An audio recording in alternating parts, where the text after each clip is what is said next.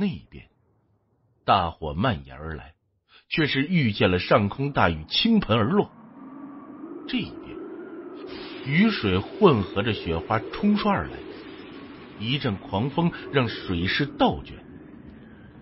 最多的是各种雷电，在天空中纵横交错，比起烟火的绵柔，多了说不出的一种壮烈。碰撞、震颤、爆裂，在这个时候，没有人珍惜自己的灵魂力。各种法术接二连三，这些比起体修更加文弱的法修，搞出了更加让人震撼的动静。呜呜，狂风吹过，一个召唤而来的鬼王横空出世。那一边，一道灵魂力凝结的长剑当头斩下；那边，一个天兵天将临世。这一边，众多的鬼头一下子升腾上天空。我站在战场之中，身体都有些站立不稳，因为各种术法的碰撞让大地都在震动。可是，这些比起我内心的震撼，又算什么？这就是真正的修者战斗吗？就是吗？如果是那个传说中的上古，那个记载在神话中的时代，那样的修者战斗又该是怎么样的一幅场景呢？我的内心感觉就要沸腾，连自己都想掐动手诀，真正的参与其中。风起云涌。大雨在不同的地方沸腾，火烧、雷鸣，大地在轻轻的颤抖，神鬼交错，灵魂力碰撞不休。我感觉修者要是经过这一战，也可以说一生无悔。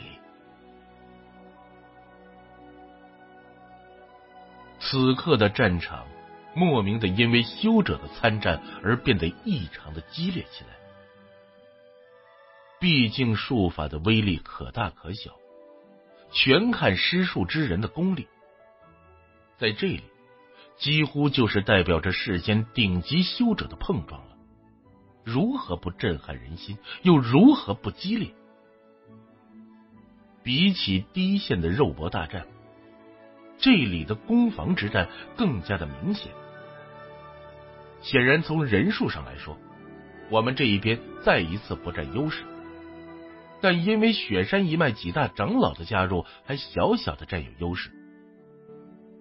那边的术法几乎都攻击不到这边来，而偶尔这边施展的大术，那边的防备有时却有漏洞，反而会让术法的余威落下。那边的修者出现了伤亡，但杨胜那个祭台依旧安静的要命，拉着黑色的布帘，不知在做些什么。最激烈的地方在战场的中央，黑色的旋风被师傅召唤出来的飓风之术给吹散了大半。开启了自身力量的勇士，终于打破了一种微妙的平衡，开始压倒一般的朝着杨胜人马的方向前进。毕竟实力不是靠着疯狂就能弥补的，即便疯狂让那些死士也是寸步不退，让这边的勇士打得异常艰难。而战场的中央下方激战。上方则是激烈，各种术法的碰撞就在战场上方，不时的雷电爆炸，飓风呼啸，时不时闪现的神鬼身影，让人晕眩的灵魂碰撞都发生在这里，让这个战场的中央几乎成为了地狱般的恐怖存在。就算普通人站在这里。看不到具体的景象，也一定会看见电闪雷鸣，感受到地动山摇。杨胜那边的优势在慢慢的消失，甚至已经完全的变成了劣势。可是同之前一样，那个祭台依旧是巍然不动的样子。里面杨胜那边真正的顶级势力的人，也没有出现过一个。如果能够一鼓作气的攻击到那边，这几乎是所有人的想法。毕竟，如果可以的话，那些武僧和体修，哪怕只是冲过去了十个，对那边的法术修者都是致命的打击。那么，也就不用那么倚重天罚之阵了，甚至可以改变策略，全部的入阵之人一同施展术法。那么，但想法是美好无比的，事实哪有那么简单？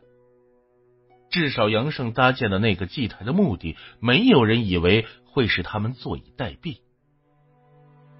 反观老掌门的脸色，并没有因为现在的优势而变得轻松，反而是更加的严肃，有一种山雨欲来风满楼的感觉。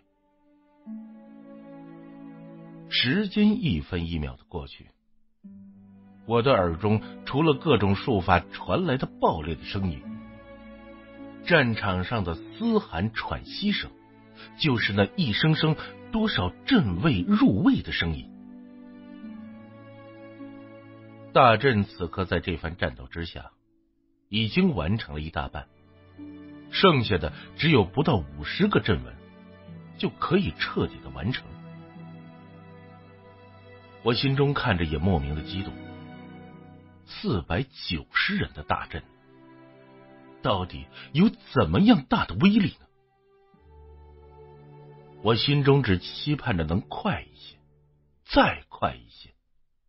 我看着杨胜那边的人慢慢的在减少，虽然施展术法的修者因为人数的补充已经能够承受这边的攻击，但这并不代表什么。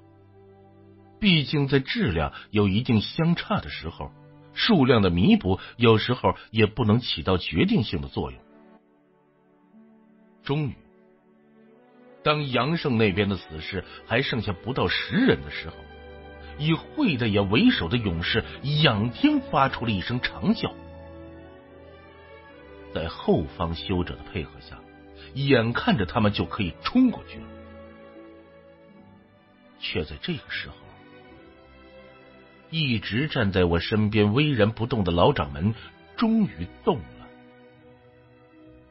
之前，他只是轻轻的抖落了一些雪花，如今一动，看起来身形飘飘，颇有仙气的样子，却是抖落了一身的白雪，身后带起了一片的落雪，感觉就像从风雪中走来。老掌门，你这是？我不明白老掌门何以有此举动，却听见从那边的祭台之上传来了阵阵泛唱的声音，是一个女子的声音。这声音听起来是那么的神圣，那么的纯洁，充满了神秘，却又悠远。让人不由自主的想要膜拜，心中不敢生出半点亵渎的意思。这是发生了什么？杨胜那边的人明明做事偏激而罔顾天道，为什么他们的祭台里会传出这种声音？我的眉头紧皱。知道这一次将是战局真正白热化的开端，却听见老掌门一声：“是时候该我出手了。”老掌门要出手，我还没来得及反应，就看见一直倚在大石下的珍妮大姐头忽然喝了一大口酒，然后快速的拧紧了酒壶，放进了屁股的口袋里。在场的所有人都穿着白色的长袍，除了珍妮大姐头，她只是象征性的披了一件白色的披风，里面还是穿着皮衣皮裤，很是干练的样子，和这个战场格格不入的形象。他收好酒壶，抬腿就走，忽然又停下，望着我说道：“小子，你觉得我这样穿，他会喜欢吗？”他应该是指师祖吧。在这场战斗中，我一度都在和陈诚一时不时的交错，我自己已经彻底的沦陷了。这个时候，我自然的把老李想成了师祖，也不觉得有什么问题。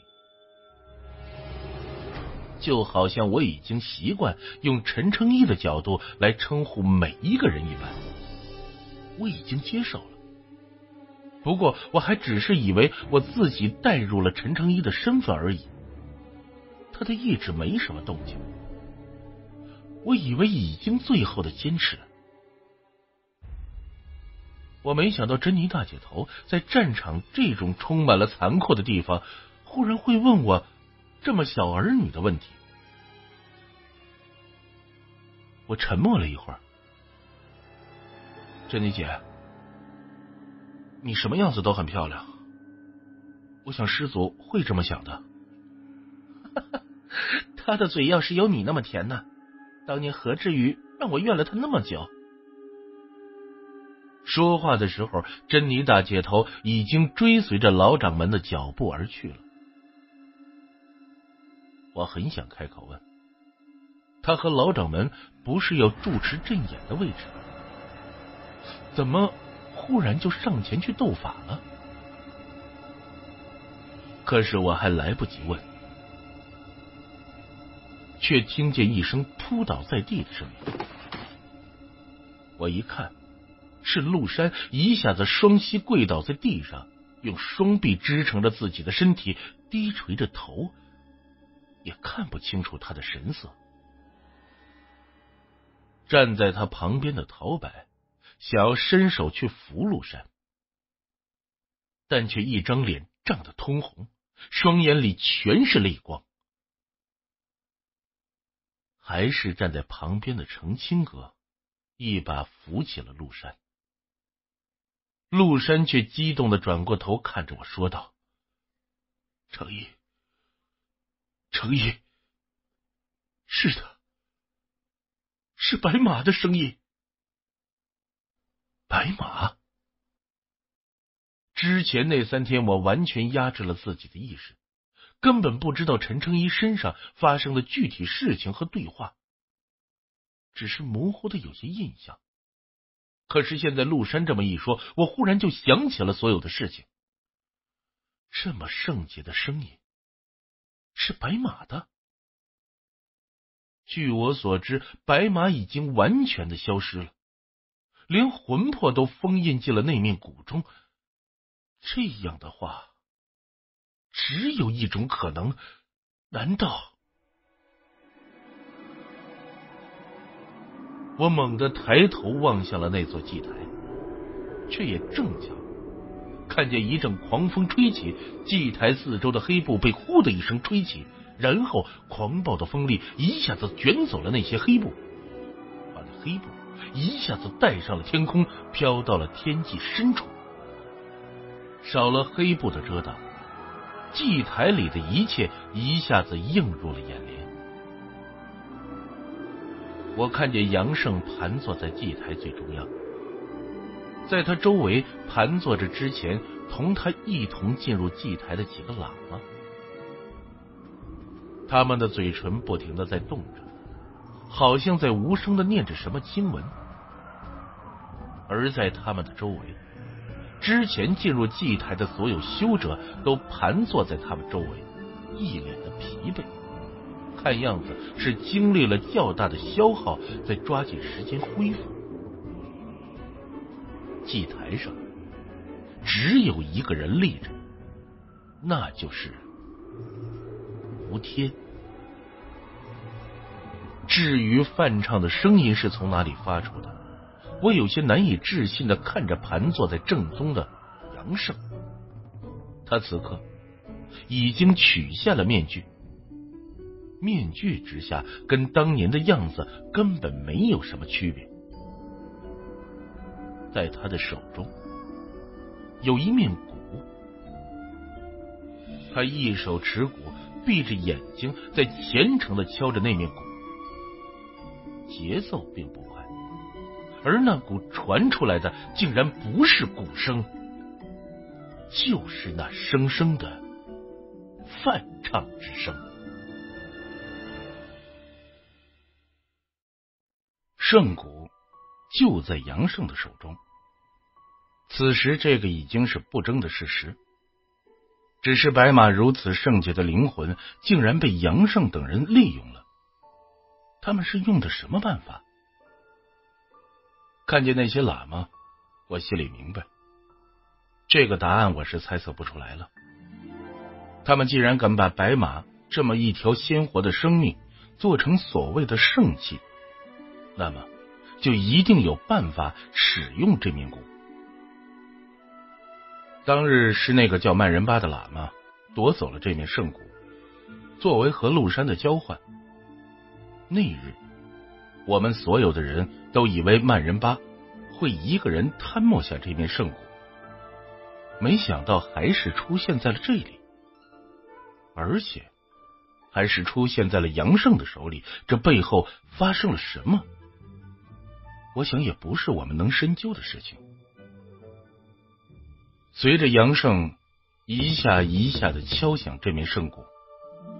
那女子泛唱的声音越来越清晰，而随着这清晰的声音，一个虚影淡淡的出现在了祭台的上方。他是如此的模糊不清，但陆山此刻全身都在颤抖。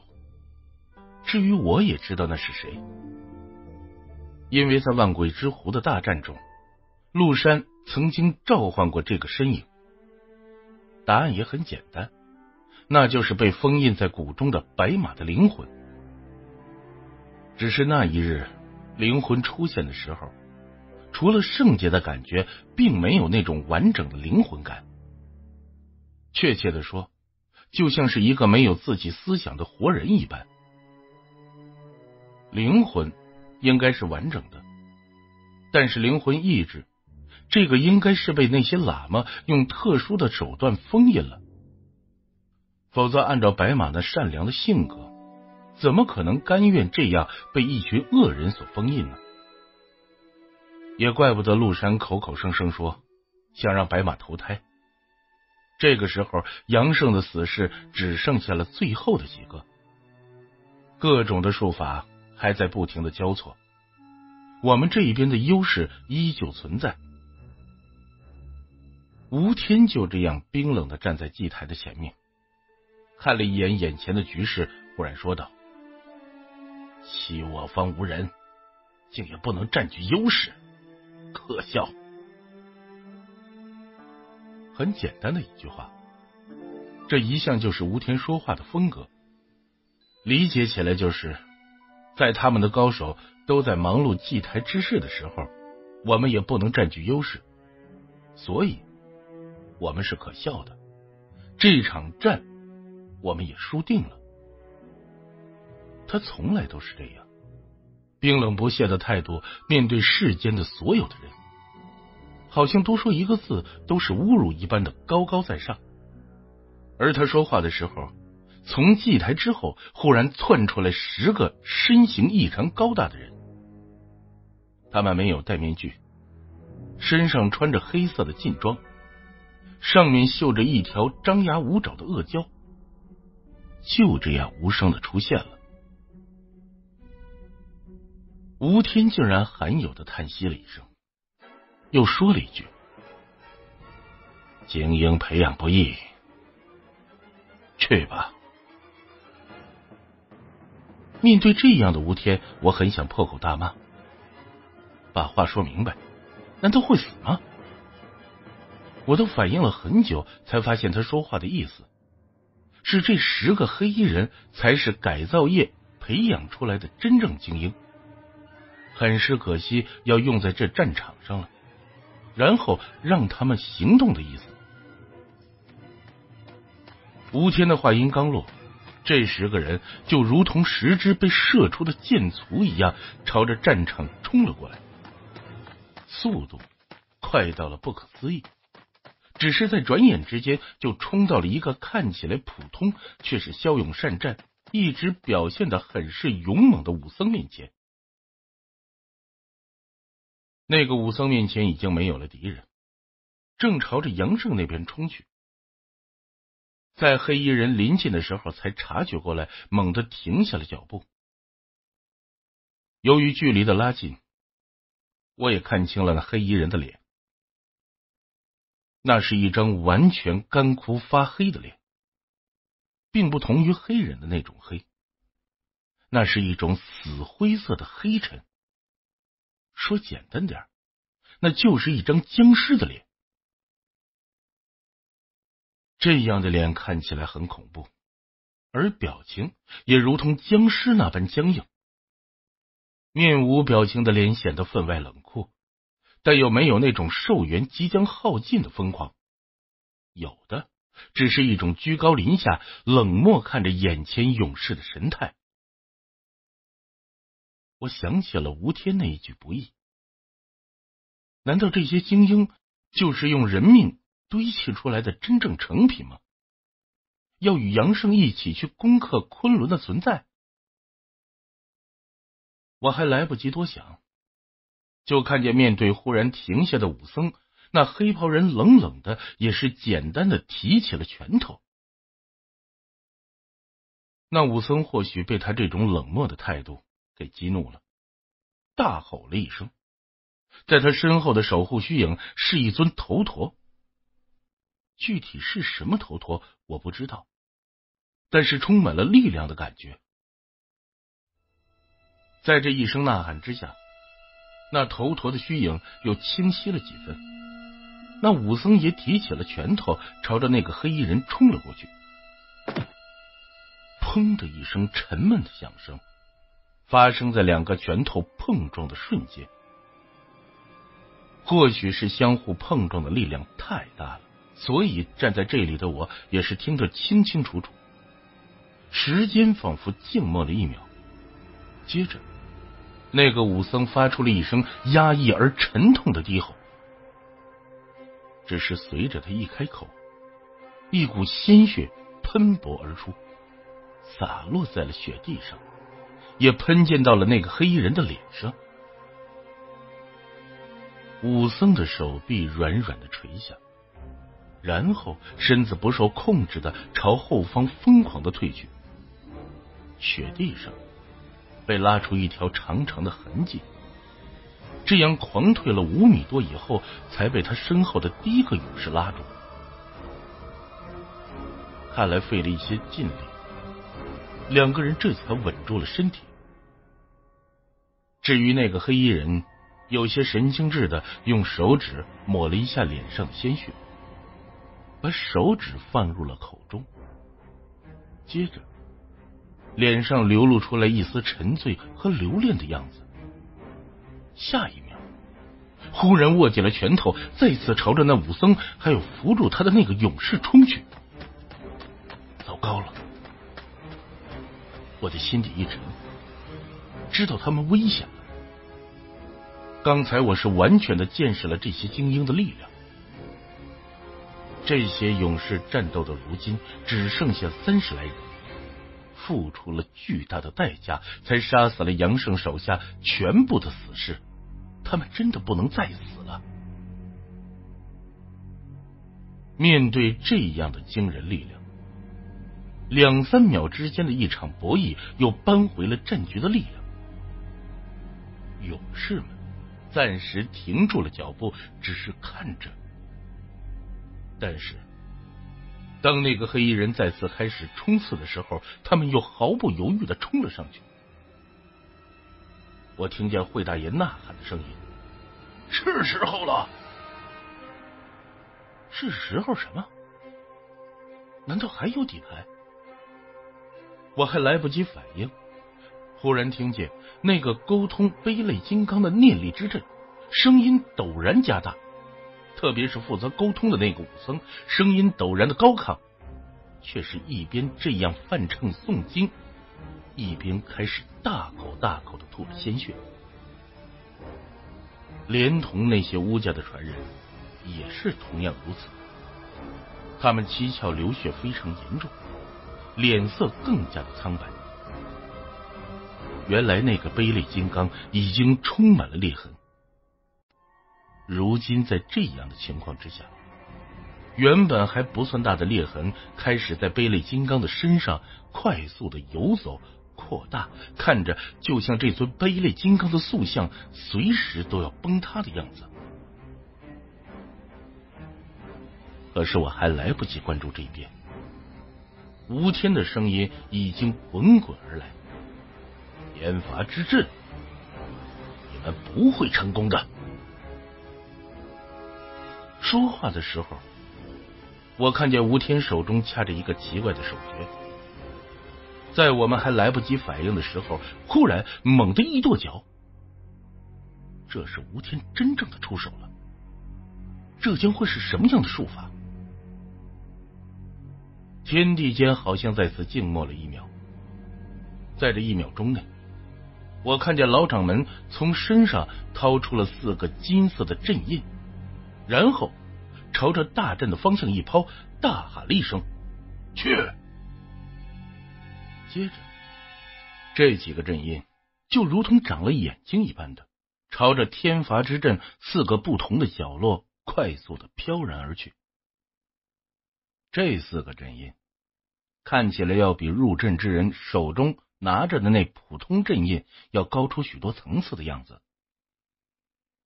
老掌门一下子坐下来，手中掐诀，大喊了一声：“古阵！”在这个时候，珍妮大姐头开始飞快的掐动手诀，一股股灵魂力疯狂的涌出。与此同时，在吴天的脚下不远处，大地忽然的隆起，然后一股巨力从隆起的地方传了过来，朝着这边飞速的奔涌而来。那巨力所来的方向，大地之下就像藏着什么东西一般，追随着巨力不断的隆起，一路惊人。这是土行术法。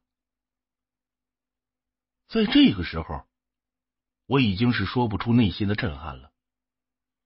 五行术法之中，这土行术法是近乎失传的一项法术。就算在刚才大能之间的斗法之中，都没有人使用这土行法术，可见这一行的法术是真的快要消失在世间了。曾经师祖传给我一项秘术，是借大地之力。开启身体的力量，这也算是一种土行术法。但我没想到，在这儿还能看见异常传统的土行法术，而且是大法。就这样被吴天轻描淡写的给用了出来。作为道童子的身份，我也是震惊的。在他那个世界，是有着土行术法的。但也和这边一样，土行术法几乎是门派的不传之秘。这原因很简单呢，土行术法的大术是对大地的破坏。大地承载着数以万计的生命，这动用土行术法太过不仁。所以呢，在道童子的世界，土行法术非顶级的存在，不能掌握。而掌握的人呢，必须是心怀慈悲，道心也稳固到一定的境界才可以。但眼前的吴天显然不是，可是他竟然这么轻描淡写就使用出了一个土行的术法，这道童子又如何不震惊呢？但是震惊归震惊，眼前却是存在了天大的难题。那就是啊，该如何破解吴天这一道术法呢？一般的破术是利用五行本身相克之术，就像是土克木，但是呢，这木型的术法在这世间一般视为伊斯麦所用，而且啊，掌握的人少之又少。在斗法当中，想要这样的相克那是不现实的。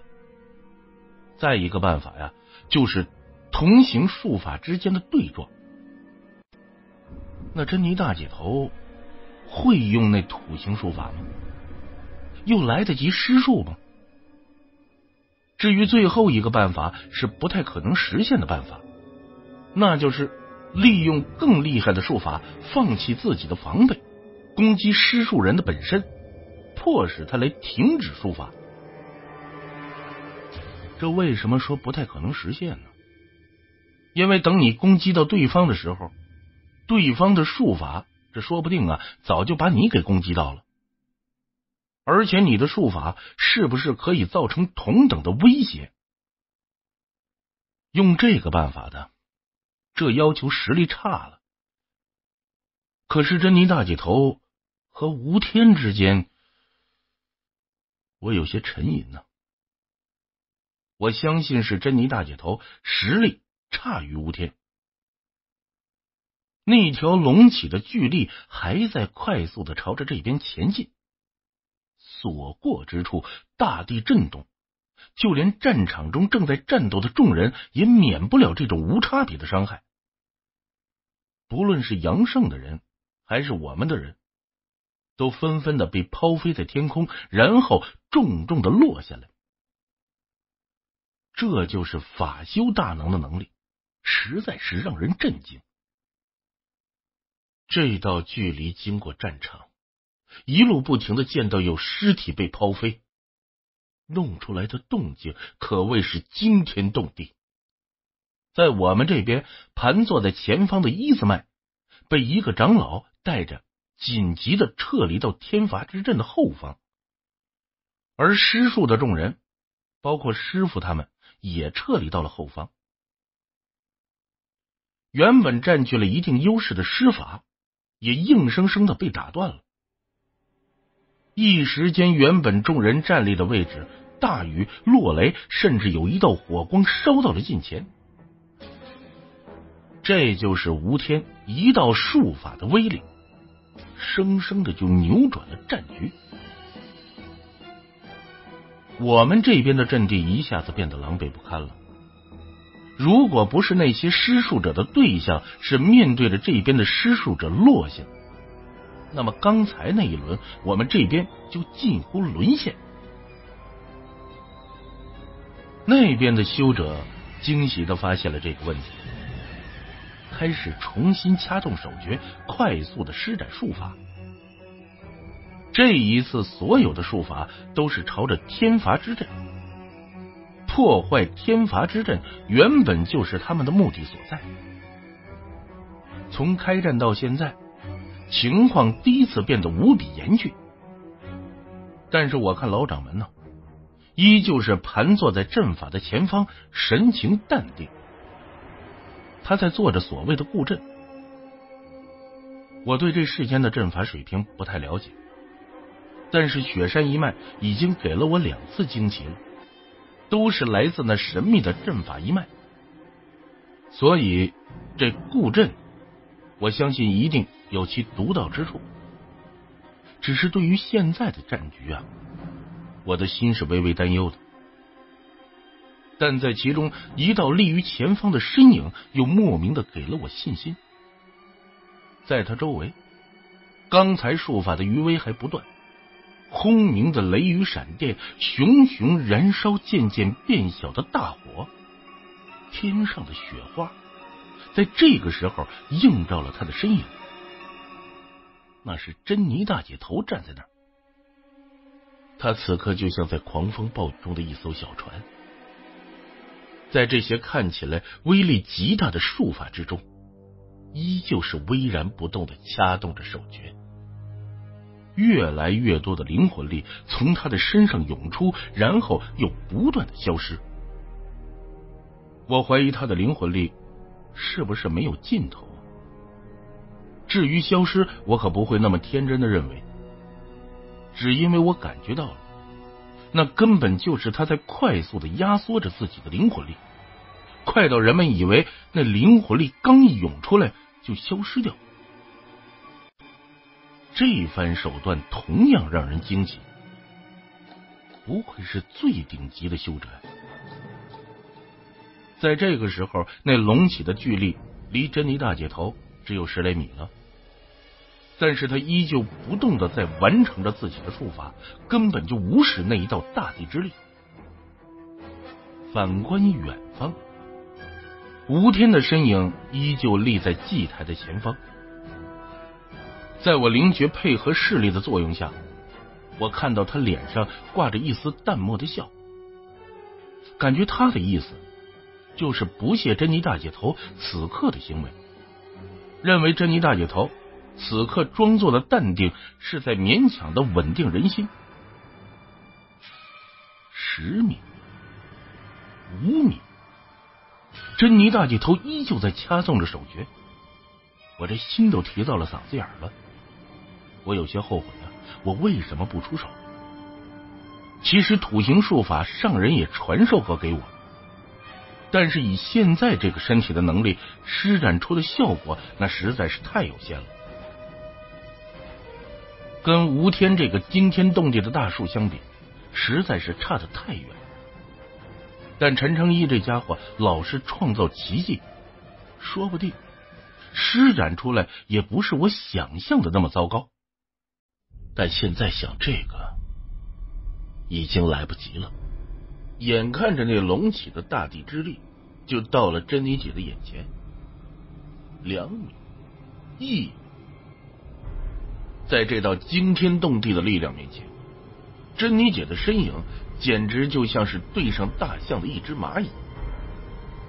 可也就是在这个时候，珍妮姐猛地停住了施术的动作，然后身形异常潇洒的踩住了旁边的一块石头，借着那股力量，她一下子就跳到了二十米左右的高空。又是一次，我猛地睁大了眼。我不会幼稚的以为珍妮姐有这样的跳跃能力。我明白，她是再一次的飞了起来。其实，在我那个世界呢，有飞天遁地能力的大能也不是没有。至少我知道上人就有这样的能力。只不过珍妮姐虽然厉害，但我必须要说，距离上人的实力。他还是差得很远，而飞天遁地并不是一件容易的事情，至少在我的判断中，珍妮大姐头的能力达不到，这是为什么呢？但是紧张的战斗很快打断了我的思考，在珍妮大姐头飞起来的瞬间，那道巨力瞬间就窜到了刚才伊兹曼和法修所在的地方。所过之处，大地就像发生了地震一般，地上的残雪、岩石也四处抛飞，而且这道力量还在朝着天罚之阵前进。如果让他顺利的来到这边，那边天罚之阵也就彻底的废了。在这个时候。停留在空中的珍妮大姐头依旧在掐动着手诀，老掌门游子巍然不动，那道巨力依旧在前行。至于我们，在这个时候对这道土行术法的威力体会更深，这已经造成了小型地震一般的效果。这吴天呢，果然非凡人。而且他好像也很重视天罚之阵，又开始变换手诀，除了驱使那道巨力以外，又再添加力量的样子。我明显的感觉到，那呼啸的力量更大了，背后山上的石头也开始纷纷的震动。而且他加快了速度，猛地就窜到了天罚之阵的前方。到了这个时候，老掌门变换了一个手诀，终于是睁开了眼睛，双手一下子合并，涨红了脸，大喊了一声：“古镇！”与此同时，阵法中有四个位置忽然金光大盛，但又是一道雷电划过天空。那边以为抓住了机会的修者施展的术法，低到已经就要落在阵法上方。而这时的珍妮大姐头也终于施术完毕，随着他最后一个手诀的掐动完毕。我感觉到好像有一阵清风从他的身侧吹过。珍妮大姐头术法的完毕，仿佛就是揭开下一幕爆炸的序幕一般。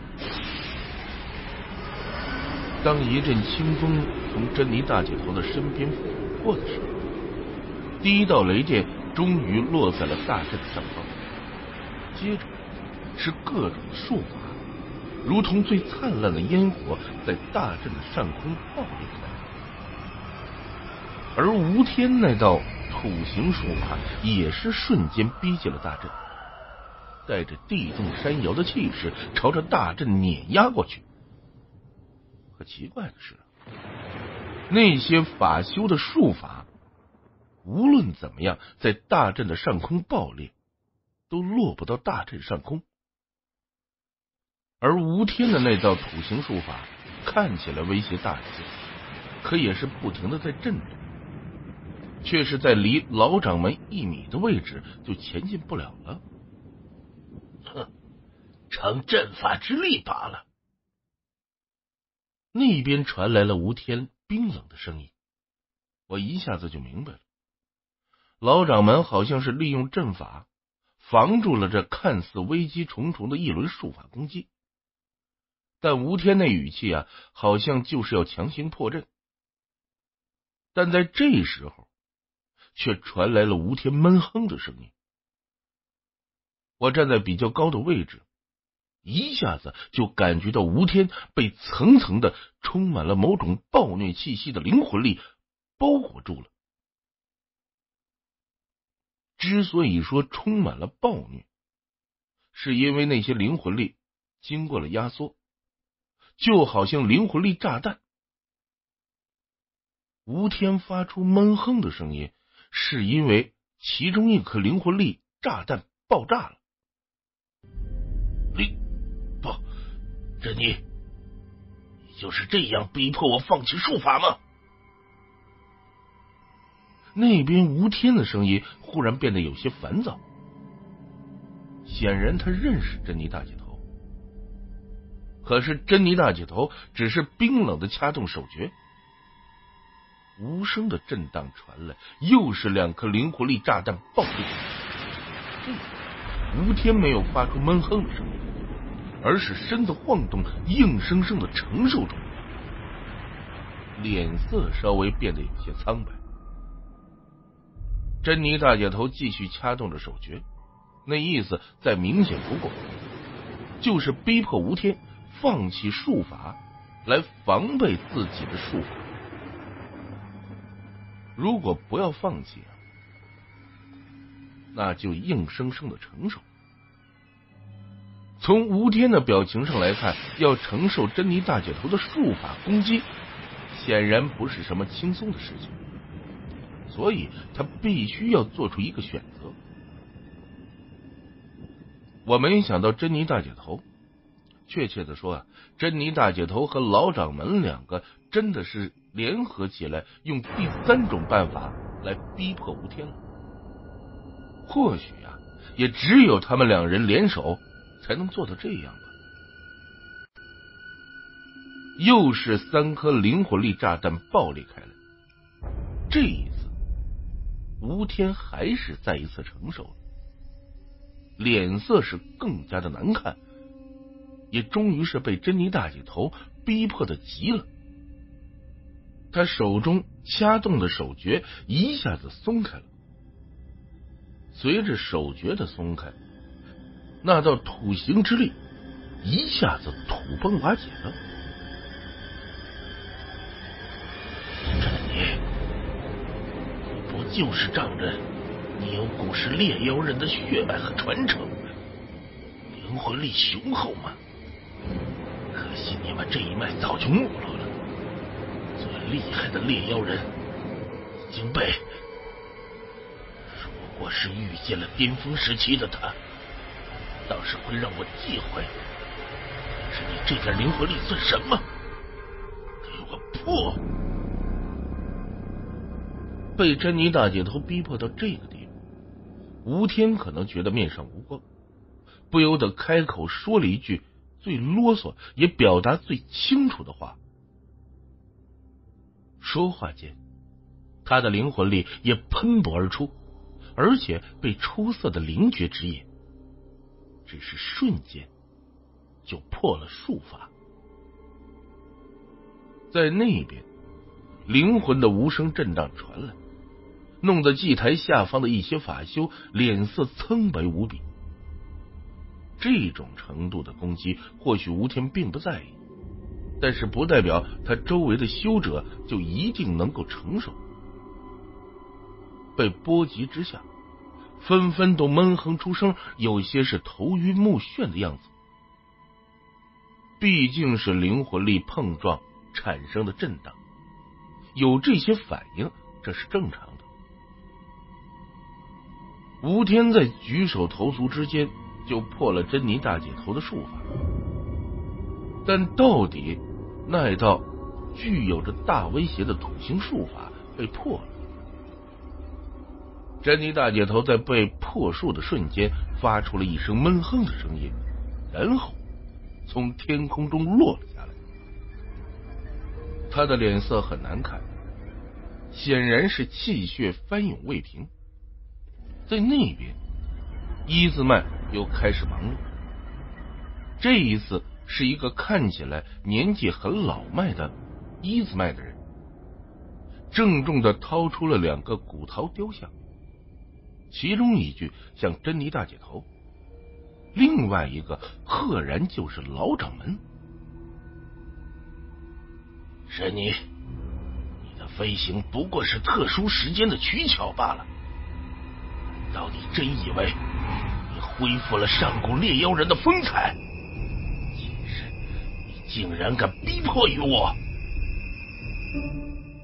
在这个时候，吴天显然非常的愤怒，在言语之间也不装高人那种云淡风轻了，而是频频的挤兑珍妮大姐头。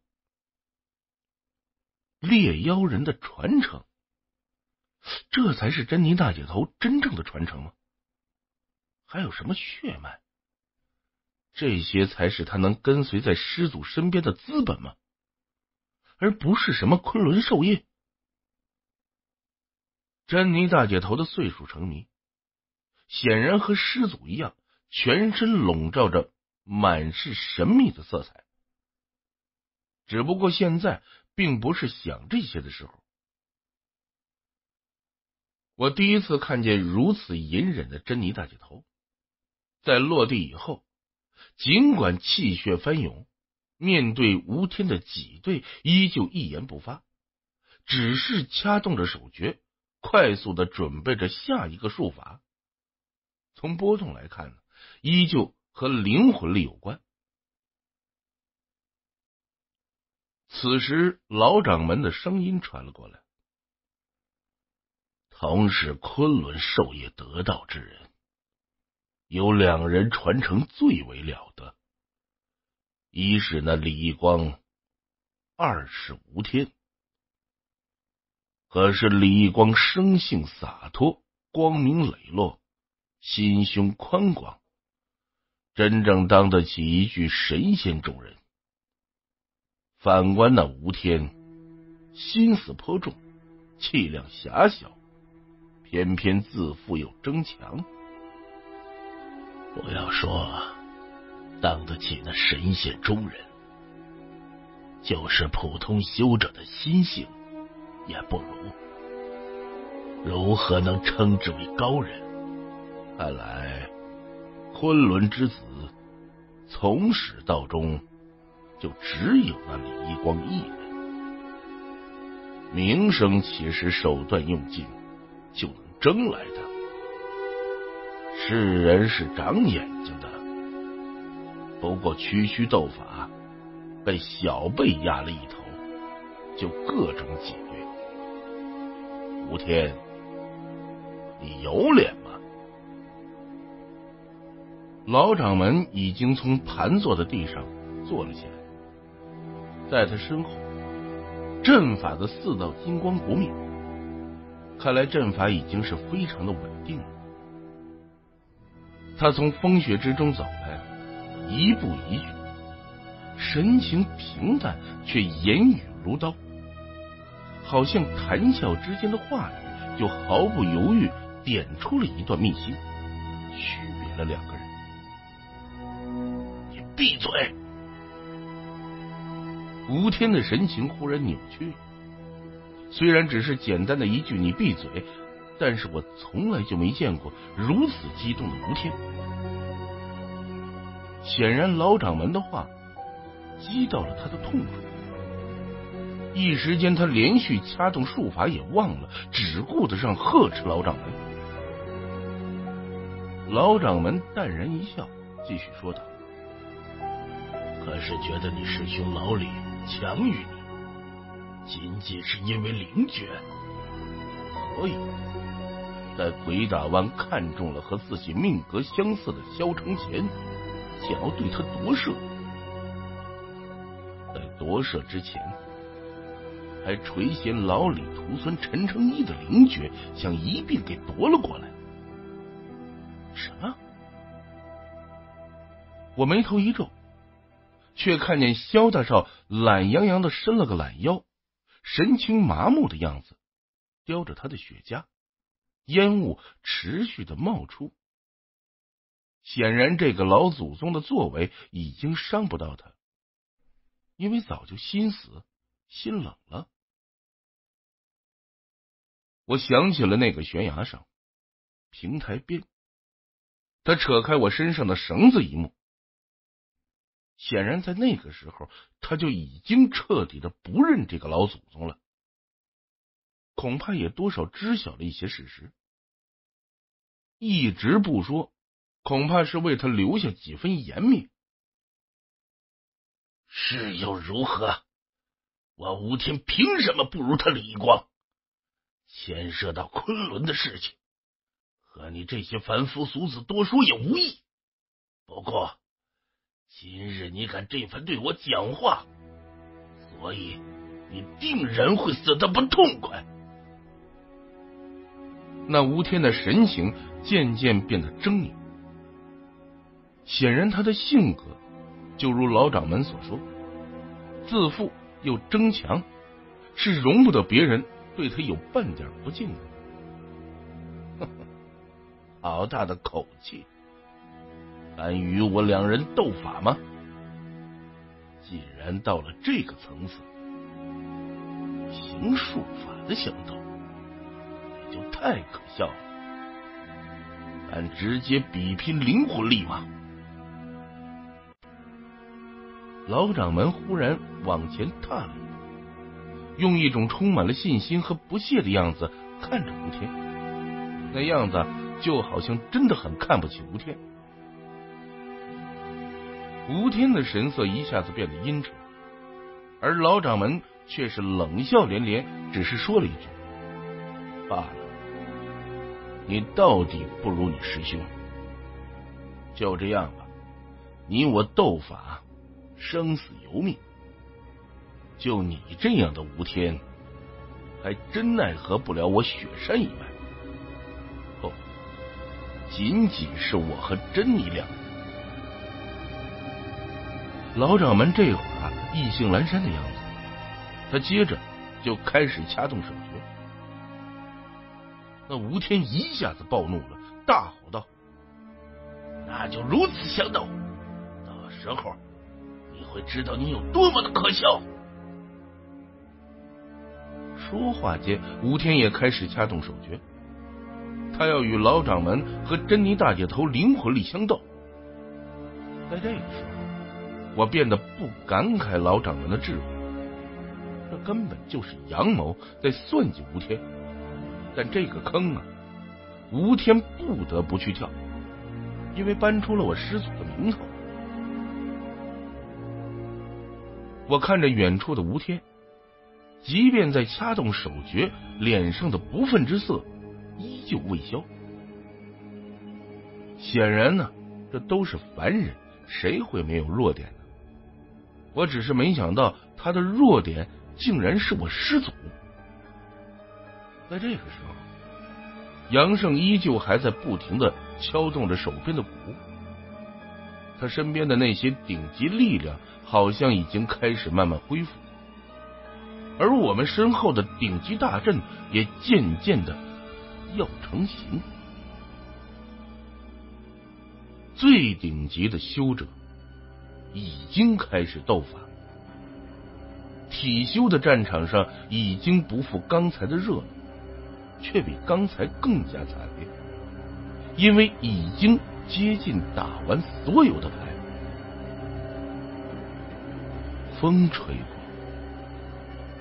接下来会发生什么？谁也不知道。不知道什么时候开始，杨胜那边的饭场声音中开始夹杂着清晰的鼓声了，灵魂力。剧烈的碰撞，无声，却能引来大地的共振。此时，我已经找不出更多的词语来形容战场上的法修之间斗法发出的声音。在无天的大术结束后，法修的斗法再次开始了。这是战场前方传来的呐喊声。杨胜剩下的十个精英死士和我们这边剩下的勇士在进行着最后的交战。我们这边的人伤亡变得很多，死亡的速度也变快了很多，几乎是用生命在拦截这些死士。剩下没多少了，区区四个而已。但还必须用生命来继续阻挡。我想，我这一辈子都不会忘记那一道血肉之墙的，那将是我一生最美的画面。不知道什么，雪停了一阵儿，到这个时候复又下起。我忽然发现了一个问题。和我们这边一样，杨胜那边的修者参与斗法的也只是寥寥数十人。